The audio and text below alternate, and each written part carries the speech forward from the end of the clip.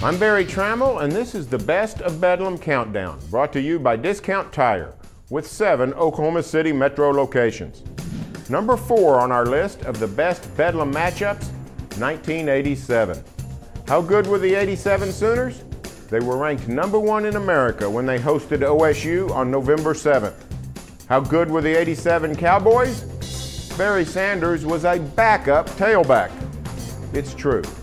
Thurman Thomas was the OSU star as the 12th ranked Cowboys invaded Owen Field with a 7 1 record against the unbeaten Sooners.